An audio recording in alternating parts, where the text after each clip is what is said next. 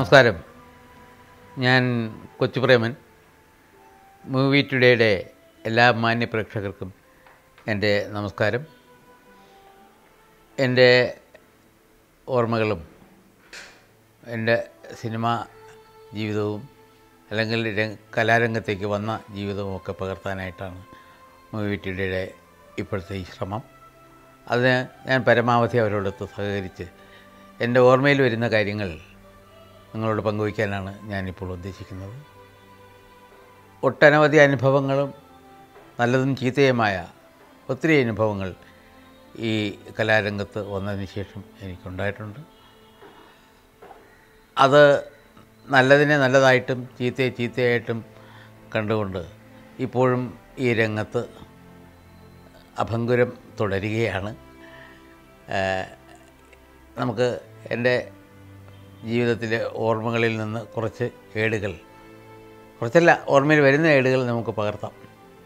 അതായത് സാധാരണ എല്ലാ സ്ഥലങ്ങളിലും ഞാൻ താമസിക്കുന്നത് ഒരു ഗ്രാമവും തിരുവനന്തപുരം സിറ്റിയുടെ ഒരു ഭാഗവും കൂടെ ഒത്തുചേരുന്ന ഒരു ഭാഗത്താണ് താമസം. അപ്പോൾ രണ്ട് കൾച്ചറും എനിക്ക് അനുഭവസ്ഥമാണ്. അതുകൊണ്ട് തന്നെ ഈ രണ്ട് രീതിയിലുള്ള പാവ അല്ല ഗ്രാമപ്രദേശത്തുള്ളവരുടെയും സിറ്റി ജീവിതം നയിക്കുന്നവരുടെയൊക്കെ അനുഭവങ്ങളും അവരുടെ രീതികളുമൊക്കെ ഇതിനിടയ്ക്ക് ഇത്രയും കാലത്തെ ജീവിതത്തിനിടയ്ക്ക് മനസ്സിലാക്കാൻ കഴിഞ്ഞിട്ടുണ്ട്. അതുകൊണ്ട് തന്നെ പല പല കഥാപാത്രങ്ങളും എനിക്ക് വിജയകരമായി അവതരിപ്പിക്കുവാൻ എനിക്ക് കഴിഞ്ഞിട്ടുണ്ട്. പിന്നെ ഇനി എന്റെ ജീവിത കഥയിലേക്ക് കിടക്കാം അതായത് സാധാരണ ഈ ഓണക്കാലങ്ങളിലാണ് മിക്കവാറുമൊക്കെ കലാകാരന്മാരുടെ ജന്മം പൊട്ടിവിളരുന്നത്. അതായത് ഈ ഓണത്തിന് പണ്ടത്തെ കാലത്ത് എന്റെയൊക്കെ കാലഘട്ടത്തിൽ ഈ ഗ്രാമപ്രദേശങ്ങളിൽ ഓണവുമായി ബന്ധപ്പെട്ട് അനവധി നിരവധി കലാപരിപാടികളും കായിക പരിപാടികളുമൊക്കെ അന്ന് ഉണ്ടായിരുന്നു. ഇന്ന് കാലം മാറി. അതിനൊപ്പം തന്നെ ഈ പരിപാടികളുടെ കലാപരിപാടികളുടെ ഏറ്റക്കുറച്ചിലുകളും രൂപങ്ങളും ഭാവങ്ങളും ഒക്കെ മാറിയിരിക്കുകയാണ്. എന്നാലും എനിക്ക് എന്റെ ഓർമ്മ എന്റെ പഴയ കാലഘട്ടത്തിലേക്ക് പോവുകയാണ്. ഞാൻ താമസിക്കുന്ന സ്ഥലത്ത് അനവധി നിരവധി കലാകാരന്മാർ ഉള്ള ഒരു നാടാണ്. കുട്ടിക്കാലത്ത് തന്നെ ഈ ഞാൻ താമസിക്കുന്ന പ്രാന്തപ്രദേശങ്ങളിൽ നിരവധി ആർട്സ് ക്ലബ്ബുകളും തിയേറ്റേഴ്സും ഉണ്ടായിരുന്നു. അവരുടെ പ്രോത്സാഹനം ഒക്കെ കൊണ്ടാണ് ഞാൻ അന്ന് ഞാൻ ബാലതാരമായിട്ടാണ് അന്ന് ഇവിടുത്തെ വലിയ വലിയ ചേട്ടന്മാരൊക്കെ നാടകങ്ങൾ അവതരിപ്പിക്കുന്ന ഒരു കാലഘട്ടം. ആ നാടകങ്ങളിലൊക്കെ ബാലതാരമായിട്ട് എന്നെയാണ് ഈ പ്രദേശങ്ങളിലൊക്കെ വിളിക്കുന്നത്. അങ്ങനെ തന്നെ അതുകൊണ്ട് തന്നെ എല്ലാ ആൾക്കാർക്കും എന്നിൽ ഒരു കലാകാരൻ ഒളിഞ്ഞു കിടപ്പുണ്ട് എന്നുള്ളത് ബോധ്യമായപ്പെട്ടിട്ടുള്ളൊരു കാര്യമാണ്. മാത്രമല്ല ഞാനൊരു വലിയ കലാ കുടുംബത്തിൽപ്പെട്ടതാണ് പ്രത്യേകിച്ച് സംഗീതത്തിന് കൂടുതൽ പ്രാധാന്യം കൊടുക്കുന്ന ഒരു കുടുംബത്തിൽപ്പെട്ട ആളാണ്. എന്റെ അച്ഛൻ ഒരു അധ്യാപകനാണ് ഹെഡ് മാസ്റ്ററൊക്കെ ആയിരുന്നു. എന്റെ അമ്മ ഒരു സംഗീത അധ്യാപികയാണ്. എന്റെ സഹോദരങ്ങളെല്ലാം മനോഹരമായി പാടുന്നവരാണ്. സംഗീതവുമായി അത്ര ബന്ധമുള്ളവരാണ്. ഞാൻ മാത്രമാണ് അതിൽ നിന്നും വേറിട്ട് അഭിനയ രംഗത്തേക്ക് മാറിയത്. അതിനും കാരണമുണ്ട്. എന്റെ അമ്മയുടെ അച്ഛൻ വലിയ അതായത് എന്റെ അപ്പൂപ്പൻ ഒരു വലിയ നാടക കലാകാരനായിരുന്നു. ഓത്തിറവേലിക്കുട്ടി അഗസ്റ്റിൻ ജോസഫ് തുടങ്ങിയ പ്രഗത്ഭരായ നടീനടന്മാരെ വെച്ച് സ്വന്തം നാടക സമിതി കൊണ്ടു നടന്ന ഒരാളാണ്. അതുകൊണ്ട് തന്നെ അപ്പൂപ്പന്റെ കയ്യിൽ നിന്ന് കിട്ടിയ അഭിനയ രീതികളാണ് എന്നെ അഭിനയ രംഗത്തേക്ക് കൊണ്ടുവന്നതെന്നാണ് വീട്ടുകാരുടെയൊക്കെ അഭിപ്രായം. എന്തുകൊണ്ടോ അങ്ങനെയൊക്കെ തന്നെ ഞാൻ ഇന്ന് അഭിനയ രംഗത്തേക്ക് എത്തപ്പെട്ടിരിക്കുകയാണ്. അന്ന് ഈ ഞാൻ നേരത്തെ സൂചിപ്പിച്ചതുപോലെ ഓണക്കാലത്ത് ചെറിയ ചെറിയ നാടകങ്ങൾ നമ്മുടെ ഗ്രാമപ്രദേശത്ത് ചെറിയ സ്റ്റേജൊക്കെ കെട്ടി അവതരിപ്പിക്കുന്ന ഒരു കാലഘട്ടമാണ്. അന്ന് എന്റെ നാട്ടിലെ ചെറുപ്പക്കാരെയൊക്കെ കൂട്ടി ഞാൻ തന്നെ എഴുതി സംവിധാനം ചെയ്ത് ചെറിയ ബാലചന്ദ്ര മേനോനായിട്ട് അന്ന് ഞാൻ അഭിനയ രംഗത്തേക്ക് കടന്നു വന്ന ആളാണ്. ആ എന്റെ രീതികളും എന്റെ അഭിനയത്തിന്റെ പ്രത്യേകതയും ഒക്കെ മനസ്സിലാക്കിക്കൊണ്ട് തന്നെ പിൽക്കാലത്ത് കുറേ കൂടെ വലിയ നാടകങ്ങളിൽ അവതരിപ്പിക്കാൻ അവസരം ഉണ്ടായി. അങ്ങനെയാണ് ഒരു നാടകം തിരുവനന്തപുരത്ത് കാർത്തിക തിരുനാളിൽ എന്റെ നാട്ടുകാരുള്ള ചെറുപ്പക്കാരെ കൂട്ടി ഞാൻ എഴുതിയ ഉഷ്ണവർഷം എന്നൊരു നാടകം അവതരിപ്പിക്കുവാൻ ഇടയായി. ആ നാടകം കാണാനായിട്ട് അന്ന് പ്രഗത്ഭമതികളായ ഒത്തിരി പേർ ഓഡിറ്റോറിയത്തിലുണ്ടായിരുന്നു. നാടകം ഇന്റർവെലായപ്പോൾ ഒരു താടി വെച്ച ഒരാൾ മേക്കപ്പ് റൂമിലേക്ക് കടന്നു വരികയും ഇതാരാണ് എഴുതിയത്? ഈ ഇന്ന വേഷം ചെയ്ത് ആരാണെന്ന് തിരക്കുകയും. അത് ഞാനായിരുന്നു. എന്നെ വിളിച്ച് അദ്ദേഹം പറഞ്ഞു ഞാൻ ഇന്ന ആളാണ്. എന്റെ പേര് ഇന്നതാണ്.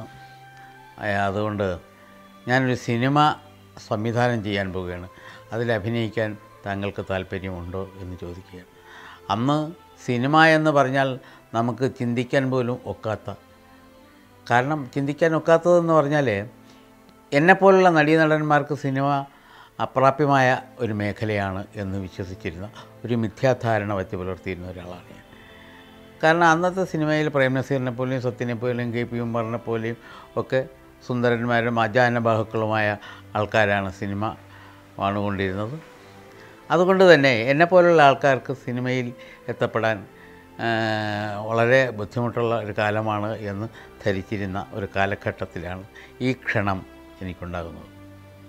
അപ്പോൾ ജെ സി കുറ്റിക്കാട് എന്ന സംവിധായകനാണ്. മഞ്ഞില എന്റെ ആദ്യ പടം ഏതാണെന്ന് ചോദിച്ചാൽ ഞാൻ പറയുന്നത് പലർക്കും അതറിഞ്ഞുകൂടാത്തൊരു കാര്യമാണ്. എന്റെ ആദ്യ പടം എന്ന് പറയുന്നത് മഞ്ഞിലാസ് എന്ന് പറയുന്ന ഒരു വലിയ സിനിമാ കമ്പനി നമ്മുടെ കേരളത്തിലുണ്ടായിരുന്നു.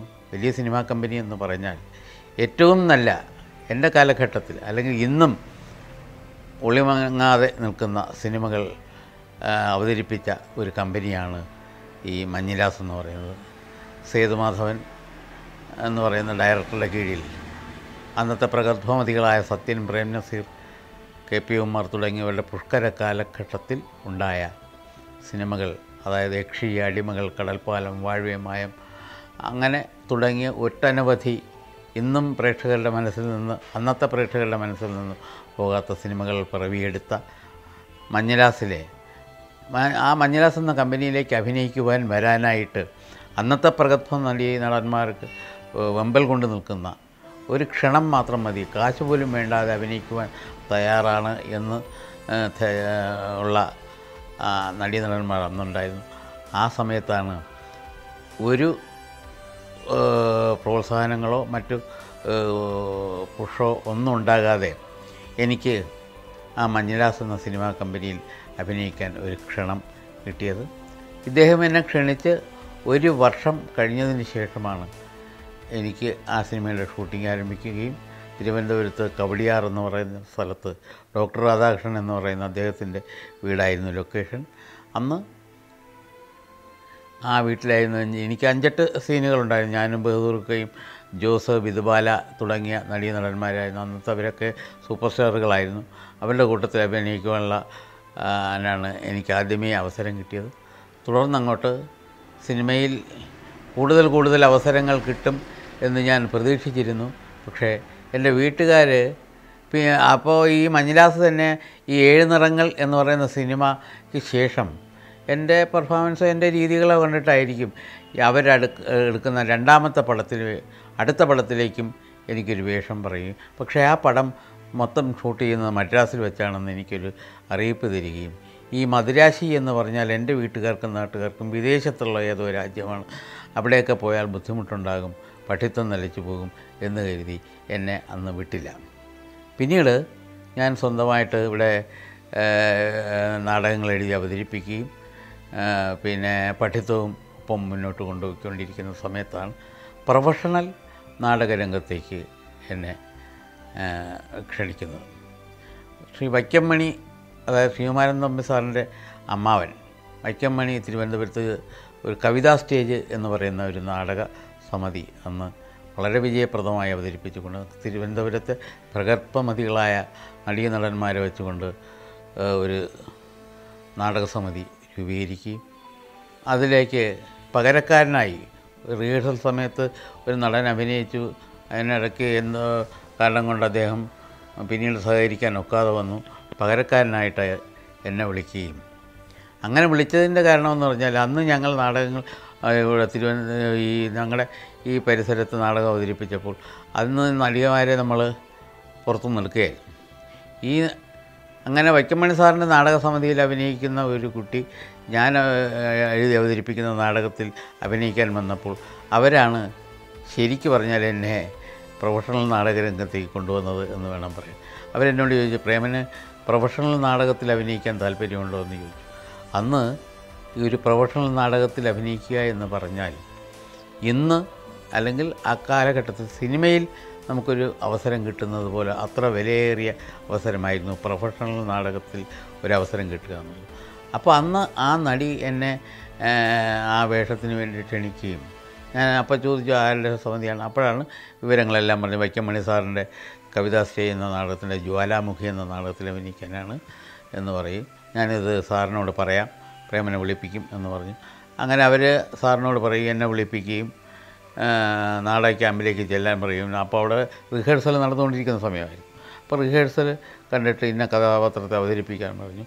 ഞാൻ മറ്റൊന്നും ഒരു മുന്നറിയിപ്പും കൂടാതെ തന്നെ ഞാൻ ആ കഥാപാത്രത്തെ പ്രോമിറ്റ് ചെയ്ത് ഞാൻ അവതരിയും ഞാൻ ആ കഥാപാത്രത്തെ അവതരിപ്പിച്ച അവിടെ അന്ന് ഉണ്ടായിരുന്ന നടന്മാരും നടികളുമൊക്കെ പൊട്ടിച്ചിരിച്ചു പോകുന്ന ഒരു അവസ്ഥ ഉണ്ടായിരുന്നു. അങ്ങനെയാണ് ഞാൻ ആ നാടകത്തിൽ സ്ഥിരപ്രതിഷ്ഠ നേടുകയും പിന്നീട് കേരളത്തിൽ അങ്ങോളം ഇങ്ങോളമുള്ള നിരവധി നാടക സമിതികളിൽ അഭിനയിക്കാനുള്ള അവസരം കിട്ടി.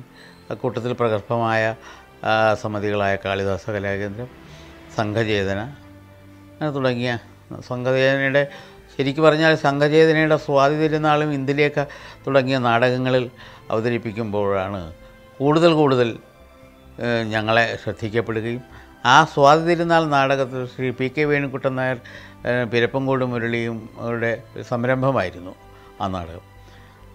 വേണുക്കുട്ട സാറാണ് ആ നാടകം സംവിധാനം ചെയ്ത് പെരുപ്പങ്കോട് മുരളിയാണ് ആ നാടകം എഴുതിയത്. ആ നാടകം കേരളത്തിലെ അത്ഭുതം സൃഷ്ടിച്ചുകൊണ്ട് റെക്കോർഡ് സൃഷ്ടിച്ചുകൊണ്ട് കേരളത്തിന്റെ അങ്ങോളം ഇങ്ങോളം അവതരിപ്പിക്കുകയുണ്ടായി. അതോടുകൂടി തന്നെ അതിൽ അഭിനയിച്ച പ്രധാന നടീനടന്മാരൊക്കെ അന്ന് സിനിമയിൽ എത്തി നമ്മുടെ സായികുമാർ പറവൂർ രാമചന്ദ്രൻ വേറെ എന്റെ ഏറ്റവും അടുത്ത സുഹൃത്തായ പ്രേമൻ എന്നുള്ള പക്ഷേ പക്ഷേ എന്റെ സഹോദര തുല്യനായ അദ്ദേഹം ഇന്നില്ല. അദ്ദേഹത്തിന്റെയൊക്കെ ഒരു വലിയ പ്രോത്സാഹനമാണ്. ഞാൻ അദ്ദേഹത്തിന് കൊടുത്തതുപോലുള്ള പ്രോത്സാഹനം എനിക്കും തന്നു. അദ്ദേഹം എന്നെ എന്നെക്കാൾ മുമ്പേ സിനിമയിൽ വന്നു എങ്കിലും അകാലത്തിൽ പൊലിഞ്ഞുപോയ എന്റെ സുഹൃത്തിനെ ഇത്തരണത്തിൽ ഞാൻ ഓർത്തു പോവുകയാണ്. അദ്ദേഹം സിനിമയിൽ വന്നു. പിന്നെ റോസിലിൻ എന്ന സംസ്ഥാന അവാർഡ് നേടിയ റോസിലിൻ.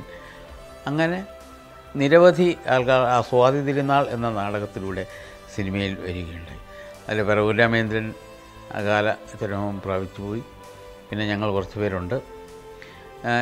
ഞാൻ സിനിമയിൽ വന്നിട്ട് ഇവിടെ സാധാരണ ഇപ്പോൾ നിലവാ ഇപ്പോഴത്തെ നിലയ്ക്കാണെങ്കിൽ എല്ലാവരും ഇപ്പോൾ സീരിയലിൽ നിന്നാണ് പലരിപ്പോൾ പലരും സിനിമയിലേക്ക് വരുന്നത്. എന്റെ കാലഘട്ടത്തിൽ അങ്ങനെയല്ലായിരുന്നു. ഞാൻ നാടകത്തിൽ നിന്ന് നേരെ വന്നത് സിനിമയിലേക്കാണ്. പിന്നീടാണ് സീരിയൽ രംഗത്തേക്ക് വരുന്നത്.